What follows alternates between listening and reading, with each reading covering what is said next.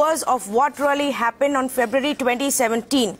In February 2017, the Supreme Court slammed the center for not taking any decision to ban polluting fuels and directed it to chalk out a comprehensive plan. The governments of Uttar Pradesh, Punjab, Haryana, the centre and the Delhi government were told to sit together a year ago. What has happened on that, sir? See, as far I'm, I'm not saying it, everything is all right on our end also. I'm not saying at all.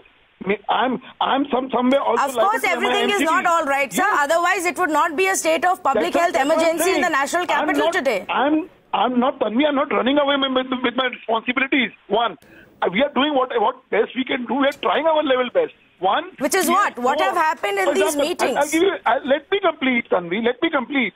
For example.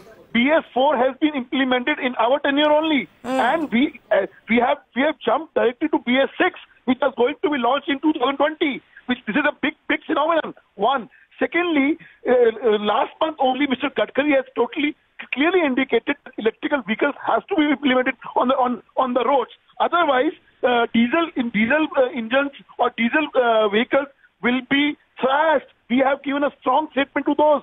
We are there to implement it. We are there to cooperate it. But end of the day, when Aam Aadmi Party or any other government plays a blame game, they have to give answers to such few things.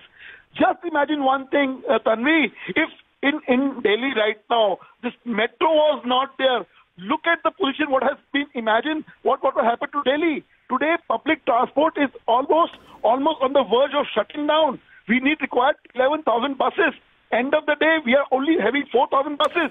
This is in the hand of only and only Arvind Kejriwal. Why are they playing a blame game? Okay. They have also said they've also said they are going to introduce vacuum cleaners to to, uh, to, to clear this dust free. What has happened to that? It's almost three years.